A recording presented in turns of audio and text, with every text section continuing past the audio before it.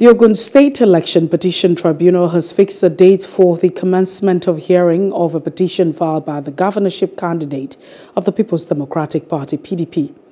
Ladi Adebutu, Adebutu is challenging the election of Governor Dapo Abiodun of the All Progressive Congress APC, citing alleged overvoting, gross misconduct, and non-compliance with the Electoral Act.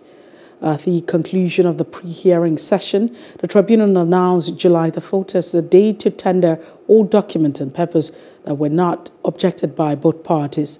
Court hearing and the calling of witnesses is slated to start on July the 5th, 2023. Space, latitude, you know, to now include whatever they like in their respondent brief. Reply to our own petition that they are not um, restricted by the provisions of the um, schedule to the Electoral Act 2022. So in summary, just like, it, just like the tribunal did on Monday, they did not agree with us. However, the matter was now set for trial. We'll be here on the 4th of July for documents that are not being opposed to be admitted by, by the tribunal and then for trial to commence on the following day, 5th of July. A while ago, the tribunal agreed with our submission and um, dismissed the application.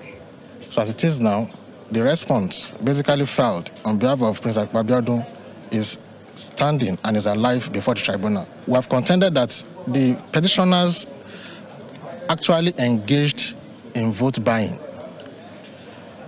We have, only, we have not only contended in our response, we equally front-loaded, that is, filed some documents to buttress that averment, that position. And we have decided to do this to assist the cause of justice so that the court will be in a position to look into the petition and the defense filed by the second respondent. That's what we have decided to do. Hello. Hope you enjoyed the news. Please do subscribe to our YouTube channel and don't forget to hit the notification button so you get notified about fresh news updates.